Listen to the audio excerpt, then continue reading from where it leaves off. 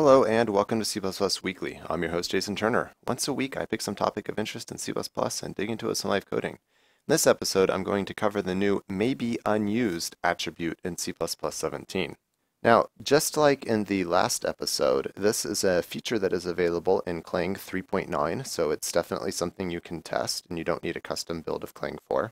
And what the uh, maybe unused attribute does is, well, simply let you mark things as possibly unused. So you have your argc and argv here, and oh no, they're both unused. But maybe you've got a reason to give them names. Now, personally, you, I would say only give a name to the one that you know that you need. For instance, you could do something like this. But if you have a reason to have the argument named, but depending on conditional compilation or something else, you can do maybe unused. And this tells the compiler, hey, uh, that parameter might be unused, just so you know, so don't give me a warning about it. Now, this has various interesting applications also. If you, for instance, have some variable like this, and you have an unused variable, and then you want to say assert on that value and we need to include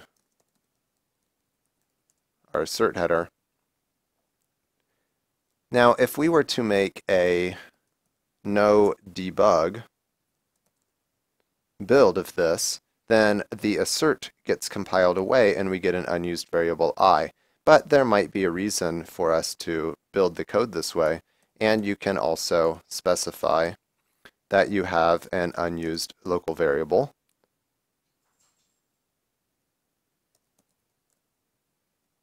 And similarly, you can mark functions as may be unused.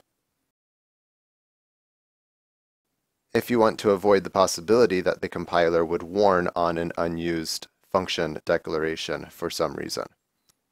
This particular attribute clearly has lots of applications. It can be used in many places, pretty much anywhere where the compiler is going to warn you that uh, something has unused that was defined.